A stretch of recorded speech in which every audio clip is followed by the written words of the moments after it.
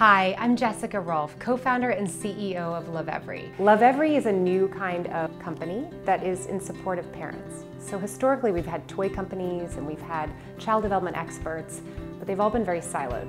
And Lovevery really wants to hold parents through their important journeys. So we're a child development company, but we're also there for parents. I am so excited to tell you about our block set. We discovered after being in hundreds of parents' homes that blocks, the learning classic, were actually collecting dust or not being played with anymore. They've been widely replaced by tiles that connect through magnets or bricks, which are so great for open-ended play and building and learning, but they aren't the same as blocks.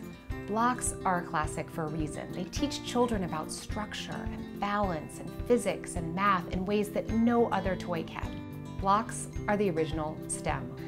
Child development professionals have long discovered that blocks are needed for this foundation of early learning. The block set comes with an activity guide that helps parents know what to expect with block play at each stage.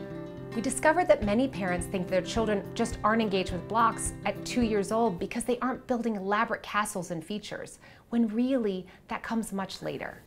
Our activity guide helps parents plug into their children right at each stage of development and make the most with meaningful play.